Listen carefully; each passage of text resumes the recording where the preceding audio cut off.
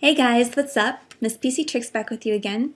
Today I've got a short video to show you. Um, I don't know how many of you know how to do this. I know some people probably already do.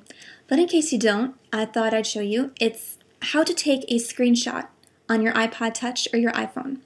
Um, in the event that you cannot save an image, either like on a Google search or something, or if you want to take a picture of an app in progress, you know, whatever it might be, just take a picture of your screen.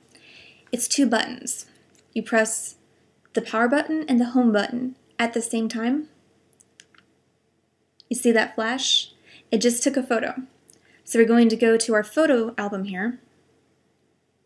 Go into saved photos.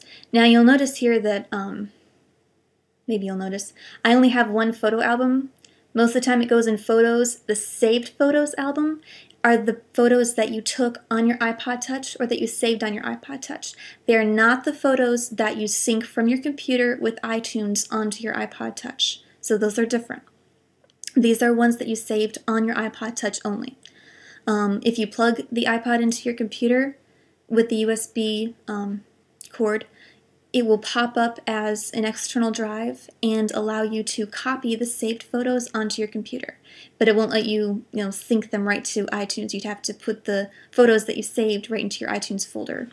But anyway, go into the saved photos and the most recent shot you took is that of the screenshot. And you can see this is my desktop wallpaper, so it's nothing uh, new, but you can see that it's, it's in photo form.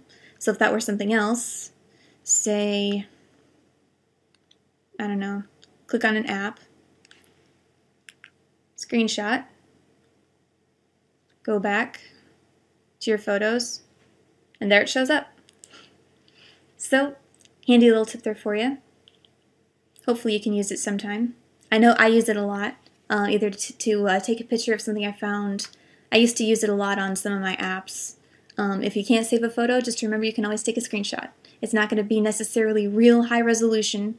If you put it on your computer and you blow it up, it's not going to look beautiful, but it's better than nothing. So that's that. Thanks for watching. Have a great day. Been a pleasure.